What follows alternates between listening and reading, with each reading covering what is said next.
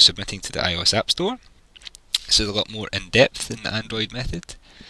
So what you have to do here is we have to generate a distribution certificate, create a, an app ID for your app, create a provisioning profile and sign the app.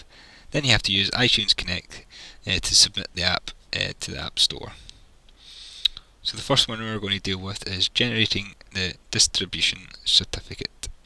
So first you'll want to make sure you're logged into your Pay for Apple developer account. You can go to that at developer.apple.com. Then you want to go to the certificate section and this should load up uh, the specific screen here.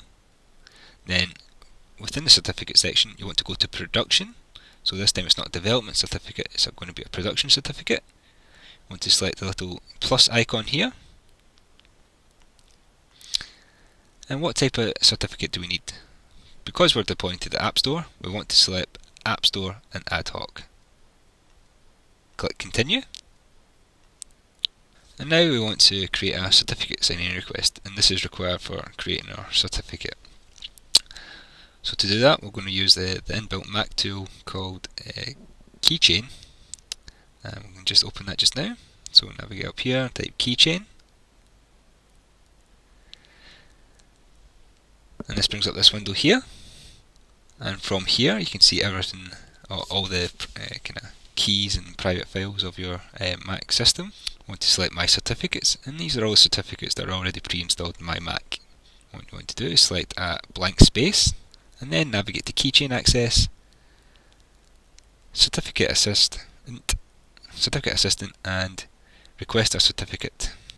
This brings up this window where you just enter uh, specific information. So for user email address, I'm just going to put my email address, common name, which is just my name, and then from the section, uh, the CA email address, you can just leave that blank because we're not going to be emailing it to a CA. We just want to be saving it to disk. Then we can hit continue and it will allow you to save that to your desktop because we'll be needing this in the next step of the Apple Developer Portal. Just call this something more unique and hit save. Now if we navigate back to the Apple Developer Portal, we want to hit continue and then we want to upload the CSR file that we just generated. So to do that, we just like choose file, and I see that on my desktop. So we just open that, and then the next thing we want to do is select generate. Now that that's generated, we'll want to download it. All we need to do is select download, and I'll just drag this to my desktop to make it easier to find.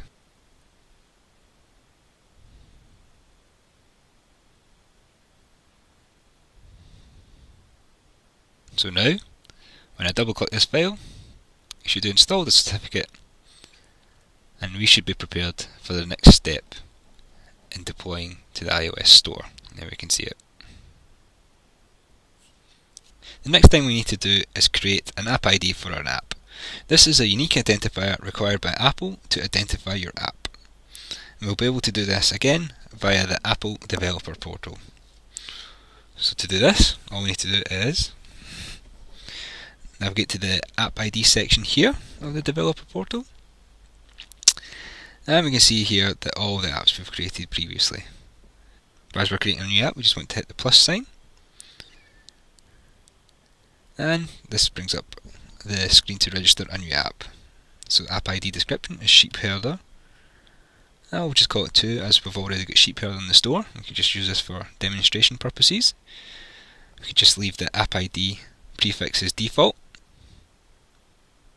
and for the bundle ID we want to make it the same as the ID in the standalone application settings from previously. So we can get that just from the standalone application settings. So we go to iOS and there it is there. It's com.livecode.sheepherder. Paste that in there. So this will just ensure that all app purchases and everything relating to your app is can be found within that unique ID and we can just have some app services enabled or disabled as we like here.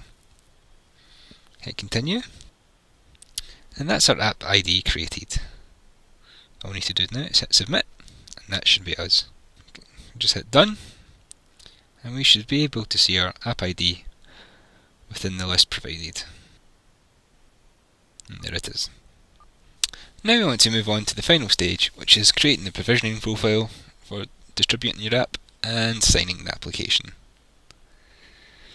So to do this, if we navigate to our developer uh, account again, and then select provisioning profiles. These are all the provisioning profiles we've already have set up. So we want to see our distribution ones. And these are the ones that we already have set up. We want to create a new one. So all we need to do is select the little plus icon. We want to distribute to the App Store. So select that, and select continue.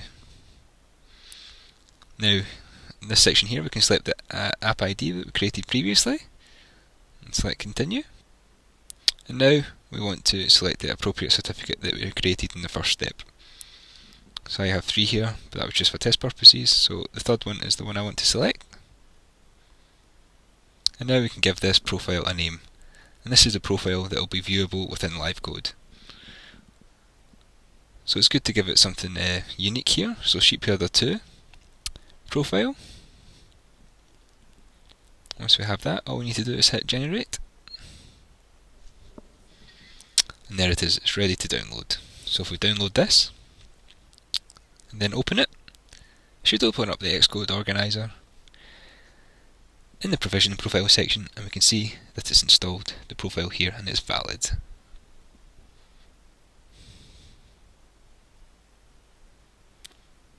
So now that it's here we should be able to use it within LiveCode. First we need to reset LiveCode so if we do that first, open up LiveCode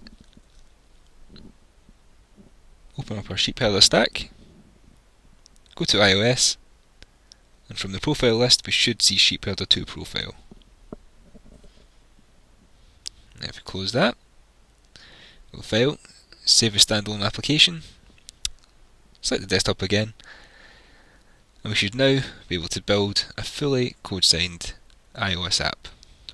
It'll ask for access to the keychain and standalone application successfully built. We can now upload this to the iOS App Store. And now we're on to the final section of submitting your app to the App Store. And to do this, we're going to use a service called iTunes Connect and the application loader. So first we need to navigate to the iTunes Connect website and then you can log in with your Apple developer account details. From in here you'll be able to manage all of your apps in the App Store and see any other relevant information about them.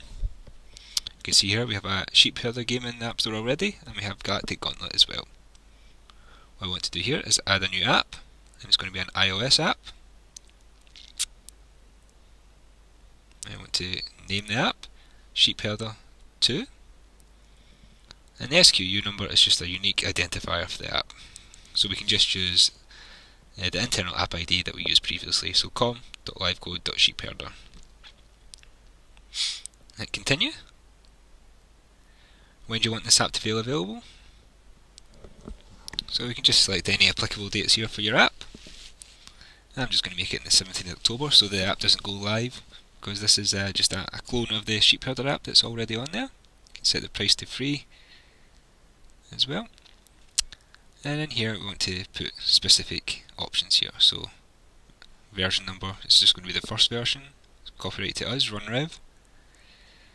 And we're just going to select some categories. So in here we'll just put games and arcade and arcade should be fine.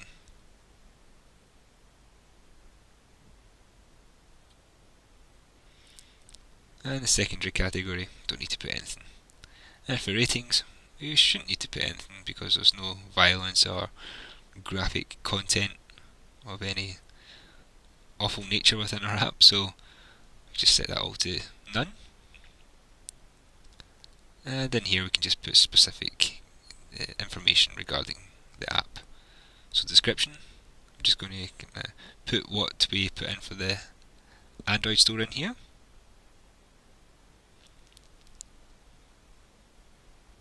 So herd as many sheep before the time runs out.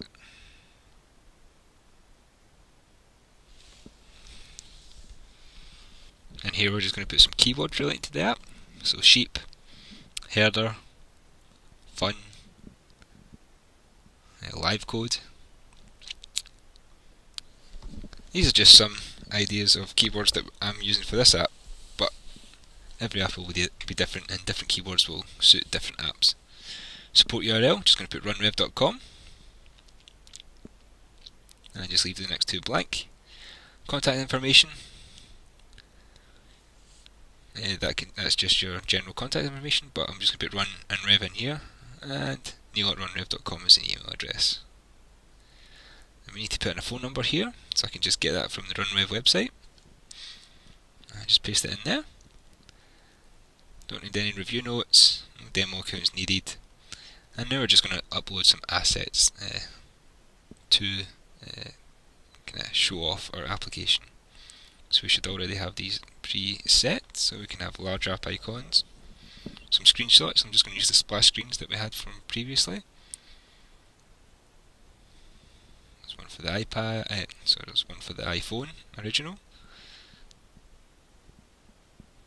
Uh, iPhone Retina.